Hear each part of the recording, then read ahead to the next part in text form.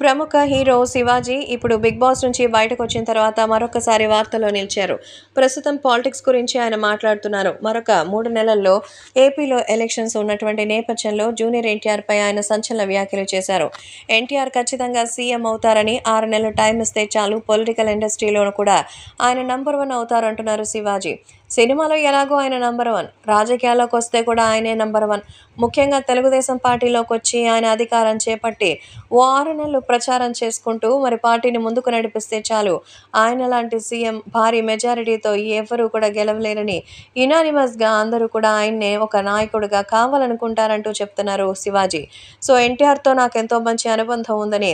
So NTR ఖచ్చితంగా మంచి భవిష్యత్తు ఉన్నటువంటి ఓ రాజకీయ నాయకుడు. ఎన్టీఆర్ మెంట్ ఫర్ పాలిటిక్స్ అంటున్నారు. ఎందుకంటే సినిమా హీరోగా ఆయన ఎంత అద్భుతమైన వ్యక్తి అనేది అందరికీ తెలుసు. కానీ రాజకీయాల్లో కూడా ఆయన అంతే సక్సెస్ని సాధిస్తారన్న నమ్మకం నాకుంది. ఓ గొప్ప ప్రజానాయకుడిగా ఆయన ఎదుగుతారని దానికి ఇక్కడ సమయం కూడా సిద్ధమవుతోందంటూ చెప్తున్నారు. ఇలాంటి టైంలో శివాజీ చేసినటువంటి కామెంట్స్ చూస్తుంటే మరి జూనియర్ ఎన్టీఆర్ రాజకీయాల్లో వస్తారా?